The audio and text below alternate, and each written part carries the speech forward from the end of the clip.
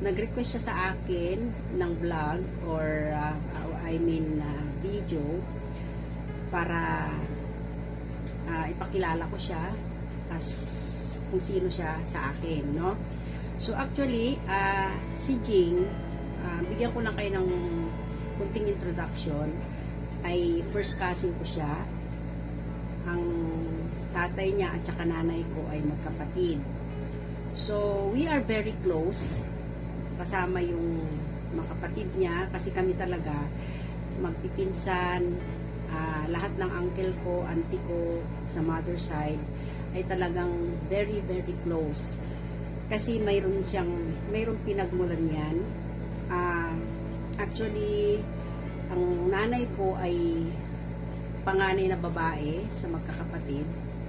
At uh, may panganay siyang kapatid na lalaki din, na si Uncle Ikong. Uh, una sa lahat na maaga silang naulila. So, maaga sila naulila, ma marami silang magkakapatid. At bilang isa, uh, panganay na babae, yung nanay ko ang naging katuwang ng lola ko para magabayan, mapalaki yung aking mga uh, uncle, auntie, dahil yung nanay ko pa lang yung may asawa noon, noong namatay yung lolo ko. And then, yung nanay ko ay namatay din ng maaga, kaya naulila ka rin kami ng maaga, kaya at the age of 6, ako 6 years old pa lang nung namatay yung nanay ko. Yung lola ko, mga uncle ko sa mother side, mga auntie ko, sila yung nagsilbing uh, magulang namin at naging katuwang din ng tatay ko para magpalaki sa amin. Actually, yung bunso namin na pinakabunso ay wala pang 1 year old, inadapt siya ng uncle ko na panganay. At uh, kaming magkakapatid talagang maliliit pa kami noon. Yung mga uncle ko yung isa na yung tatay ni Jing ay sila yung nagsilbing uh, uh, nagsilbing nagbigay ng pagmamahal na hindi na, ipama, na ipadama ng aming nanay kasi nga maaga siyang namatay no so yung lola ko at yung mga auntie ko sila yung parang mother surrogate namin kaya lumaki kami na lubos-lubos or sobra-sobra sa pagmamahal sa mother side, sa mga auntie-uncle namin. So, with that, noong uh, to make this story short, kung paano ko la, ako nagiging lalong close kay Jim. Uh, nung nag-asawa ko, ang napangasawa ko ay seaman. Kaya, syempre, lagi siyang umaalis. So, lagi akong mag-isa So, noong ako'y nagka, nagkaanak na, ang katuwang ko sa pagpapalaki sa aking mga anak, dahil lagi wala nga yung asawa ko, ay ang uh, kapatid ni Jing at si Jing. So, yung panganay na kapatid niya, na si Gilying, siya yung nagsilbing uh, tatay na rin yung, ng mga anak ko kasi siya yung katuwang ko sa pagpapalaki sa kanila. Siya yung nag-alaga, siya yung nagda-drive, siya yung naging driver namin. Kaya lang, maigsi naman yung buhay niya kasi uh, namatay siya sa disgrasya. So, itong pinsan kong ito na si Giling, yung kapatid ni Jim, ay may sakit ito kaya hindi siya pwedeng mag-aral at saka pumasok sa trabaho siya. Siya ay nag-epilepsy mula pagkabata. So bilang ako ay as, as a nurse ay Bali siya sa atin siya tumira nung ako may asawa na. At ito naman si Jing, kasi gusto niyang mag-aral. Kinuha din namin noon, so siya yung nag-alaga lalong-lalo na sa anak ko na pangalawa na, si Genesis na nurse na siya ngayon, nasa Amerika na. So, siya talaga yung nag-alaga sa kanya, ng bata pa. At uh, habang nag-aalaga siya ay nag-self-supporting, pinapaaral naman namin siya. So, nakapagtapos siya ng college uh, dito sa amin. Pero, minsan may mga hindi man mawawala yan, may mga tampuhan din kami. So, one time, alam nyo naman, ang uh, ako may pagka-stricto talaga ako. So, mayroon siyang hindi nagustuhan siguro na sinabi ko kasi minsan nagagalit ako ay umalis. So, nung umalis siyang yun, hindi muna siya umuwi sa bahay. Medyo nasaktan ako kasi yung anak ko na yung inalagaan niya talagang hinahanap siya. So, nalungkot ako noon. Pero, yung one time umuwi kami ng probinsya, nakita niya si Auntie Jean niya, yung anak kong yun. Talaga naman matouch ako kasi sumama siya kay Jing at halos ayaw nang humiwalay. Alam niyo nung uuwi na kami, naku, nung habang nandun kami sa sasakyan, Auntie Jing ko, Auntie Jing ko, gusto niyang ano, gusto niyang isama si Auntie Jing niya. Kaya para natutulog yung postan yun. Ah, yung unang cellphone ko, na I think silang dalawa ni, Jing, ni Miding yung bumili noon. Kayong dalawa ni Miding noon ang bumili ng first cellphone ko. Yung malaki pa yata yun noon na cellphone, yung mabigat na ayun kung anong model yun. So, hindi ko makakalimutan yun. At saka,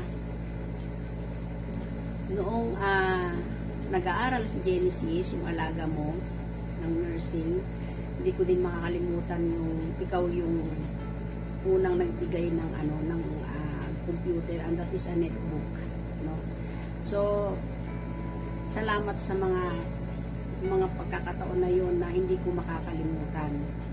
So ano pa ba? Maraming ah, mga sa, sa, so, sa pamilya ni Jing marami lahat silang magkakapatid yan. Nakatulong talaga sa amin. Actually may kuya siya na si Eduardo na namatay na rin. Maaga din siyang namatay. Siya rin yung katiwala namin sa bukid noon at ah, meron din siyang kapatid na si ah, Lori palibhasa medyo may edad na ah, hindi pa naman matandang dalaga kung masasabi pero siya talaga yung madali naming mahatak pag mayroon kaming ah, mga kamag-anak na na hospital o kailangan namin ng tulong dahil may, may, may sakit. Si Ate Dina noon, ah, siya yung kasama namin na nag-alaga, nag-alaga yung kapatid ko na namatay din dahil namatay din sa cancer, maaga din namatay. Tapos, yung mga anak ko, pagka mayroong mga na-hospital sa mga anak ko noon, palibhasa, madali siyang hatakin kasi wala siyang kasawa. Laging nakaano yan, nakaantabay yan na para tumulong sa amin. At ganun din ang mga kapatid niya hanggang noong nabubuhay pa yung tatay ko kasi yung tatay ko namatay siya na 2 years old kasi malapit lang yung bahay namin sa kanila Ah, lahat ng problema ng tatay ko tungkol sa karpintero sa, sa lahat ng gawaing pang, ah, pang maintenance tinatawag niya yung mga kapatid ni Jean. At hanggang ngayon meron siyang kapatid na si John C. siya yung nag-maintain sa bahay namin kasi ah, wala nang nakatira doon. Umu- pumupunta yun na lang yung ah, uwian namin yung family house namin. Nililinis na lang ng kapatid ko. Pero ang nag-maintain doon yung mga kapatid ni Jean hanggang sa noong ah, nagkasakit yung asawa ko hanggang sa mga ah, kapatid mga pamangkin sila talaga yung umaalalay sa akin. Si yung pamangkin niya yung anak ni Neneng si Lorna sila Dinalin si Balong sila yung katuwang ko sa pagbabantay sa asawa ko sa ospital noon bago namatay yung asawa ko. Kaya malaki talaga yung utang na loob ko sa pamilya nila So, lalong lalo na si Jing, marami din siyang naitulong sa akin, lalong lalo na yung nung yung asawa ko, financially, emotionally, napakadaming ah, mga blessings na na-share niya sa akin. So, bagamat ah, hindi ko yan masusuklian, kung alam kong ah, Diyos na lang ang bahala sa mga ginagawa niya sa akin. At ang tatay niya, grabe, napakabait.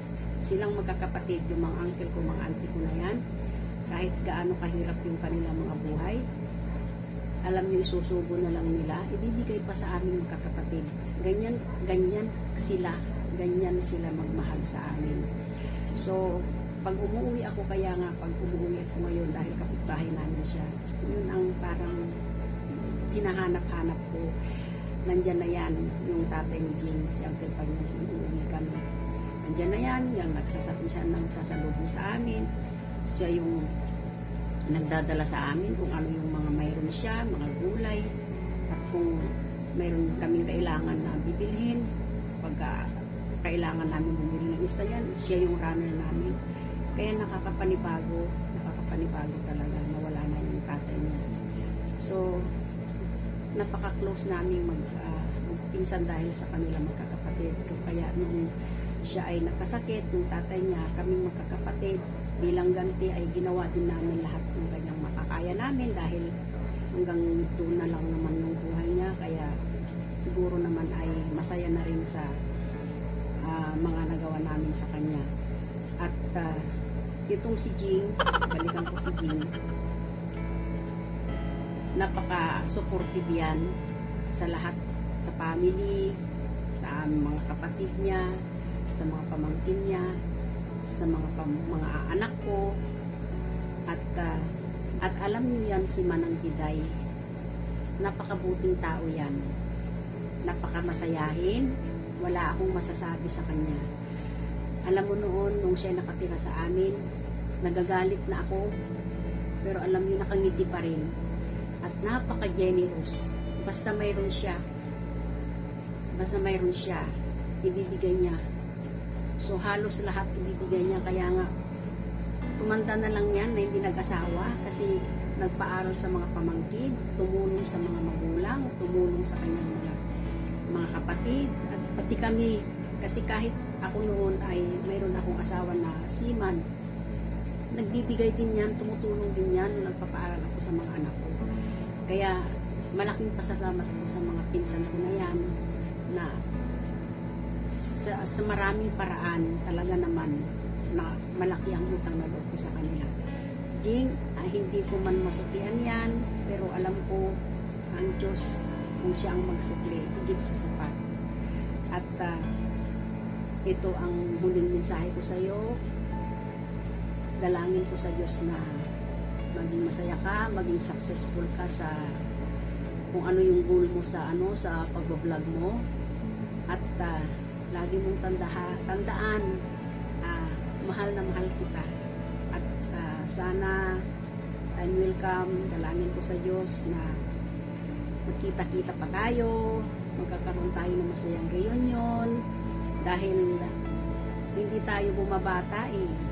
Ako 63 years old na ako. Sana ah, in spite of this pandemic, ito in spite of this uh, trial sa pinagdadaanan natin, dalangin ko na magkita-kita pa rin tayo, magkaka- magpipinsan, magkakapatid, at katulad sa dati, magkaroon tayo ng masayang masaya at malaking reunion.